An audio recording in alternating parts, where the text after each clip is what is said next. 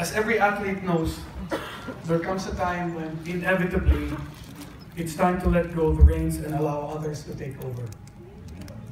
My father has always said broadcasting is for the young.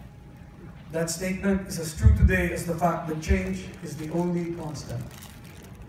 For the young have the courage to go where no one has ever been. Why not or bakit hindi has always been one of the defining attributes of our organization. The demographic profile of the Philippines has always been biased towards the youth. Who better to assess the needs of our audience than like-minded young managers? Thus, I am nominating my cousin Mark Lopez to replace me as chairman of the board. Mark has been at ABS-CBN for seven years. His role will be distinctly different from mine. After all, today's digital, digital world is vastly different from the world I managed. Also, we have Carlo as CEO to manage the day-to-day operations. I envision Mark's role to be primarily a fiduciary responsibility. Together, both Carlo and Mark, both in their 40s, will carve out their roles in a way that will hopefully cater to their individual strengths.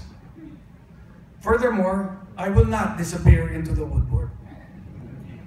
If the shareholders decide, I can still be on the board to serve in a consultative capacity. I may be retired, but I am not dead. At the end of the day, I can also take time out to just relax and watch grass grow. Nobody who knows me will ever believe that's what I will do. However, it's important to me that my tombstone says, I planted the seeds, I watched the plants grow, but I did not cut or strangle the flowers to grow like a bonsai plant.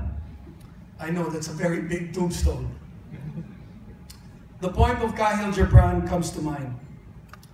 Your children are not your children. They are the sons and daughters of life longing for itself. They come through you, but not from you. And so it is with ABS-CBN. I've spent most of my life with you, but you are not an extension of me. As a wise man once said, if you love them, set them free. So fly high, Kapamilya.